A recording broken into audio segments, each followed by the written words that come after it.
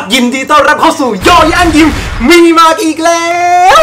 วันนี้นะครับ ผมเอาการสควอตแบบคู่รักคู่รักคู่รักคู่รักคู่รักเอามาฝากกันนะครับ ลองดูกันเลยฮะ อย่างที่ผมเคยบอกนะครับ การทำ perfect squat ก็คือการนั่งเก้าอี้แล้วลุกขึ้น คือการที่เข่าเราไม่เคลื่อนมาข้างหน้าตอนที่เรา squat ลงไปนะครับ ก็คือการหย่อนก้นลงไป แต่เราอาจจะทำได้ไม่ perfect ดีเท่านั้นนะฮะ การนั่งเก้าอี้เป็นสิ่งที่ดี แต่มันก็ไม่ได้เต็มที่อย่างที่เราต้องการ เพราะฉะนั้นเรามีตัวช่วยครับ อย่างเช่น ไอ้ตัวนี้ จับมือกันไว้นะครับ จับที่ข้อมือแบบนี้ จับปุ๊บล็อกกันอย่างนี้ เอ็นตัวออกจากห่างห่างกันนิดนึงนะครับ แล้วคิดซะว่ามีเก้าอี้นะครับ แล้วนั่งลงไปครับ แล้วขึ้นมาครับ นั่งลงไปสุดเลยครับ ขึ้นมาครับ นั่งลงไปขึ้นมา นั่งลงไปเหมือนอึกอะขึ้นมา อันนี้ไม่ได้นั่งเก้าอี้นั่งกระโถนตูดใกล้พื้นมาก ขานี่เบิร์นเลยนะครับใช่ feel the burn in your legs นะฮะว้าว